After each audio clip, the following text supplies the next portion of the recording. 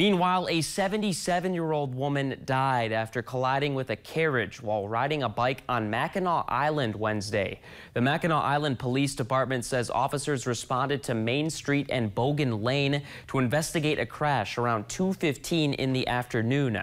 The cyclist from Huntington Woods was riding westbound when she hit an eastbound carriage. The woman was seriously injured and taken to McLaren Hospital in Petoskey. She later died from her injuries. Responding agencies included Mackinac Island PD, Michigan State Police, and Mackinac Island Emergency Medical Services. Police say the crash is under investigation.